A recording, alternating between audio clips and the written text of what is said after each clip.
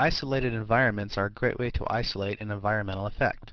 You can have TrueSpace's main environment running and have multiple isolated effects at the same time. Isolated environments are created by assigning the effect to an object. Here we have two water stream environments facing each other. These objects can be keyframed to change size, move, or rotate as well. The level of effects can be keyframed too. Over time, you can make water turn into the consistency of mud, for example.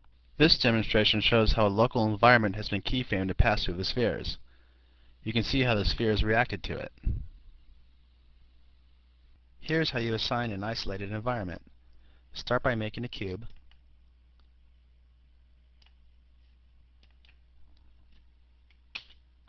Next, choose an isolated environment.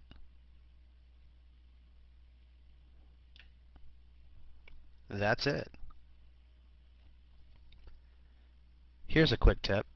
If the isolated environment is going to move, or objects will be passing in and out of the area, it helps to quad divide the cube a couple of times for better accuracy.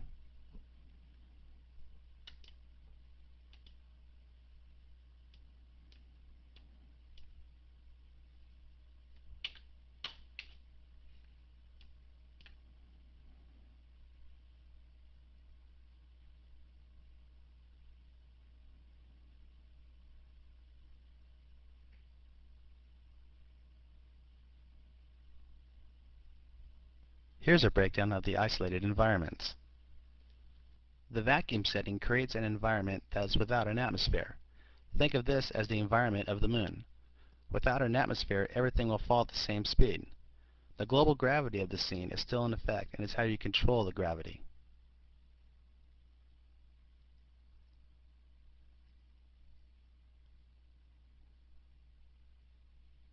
The space vacuum setting creates an environment that's just like outer space. Objects will float or spin forever.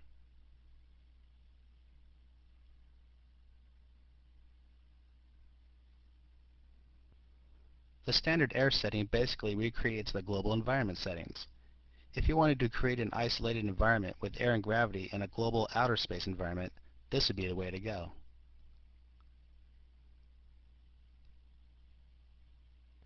The air tornado setting works just like it sounds. It creates a tornado. This setting is fun for destroying objects.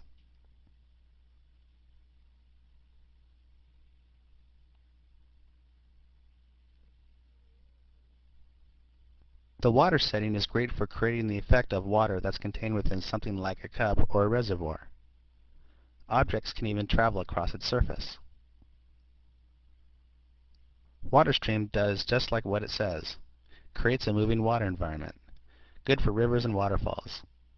You can see how the flow of the water carries the sphere along until it falls out of our local environment altogether. Now we've seen the different kinds of isolated environments. In the next chapter we'll look at the settings for these isolated environments.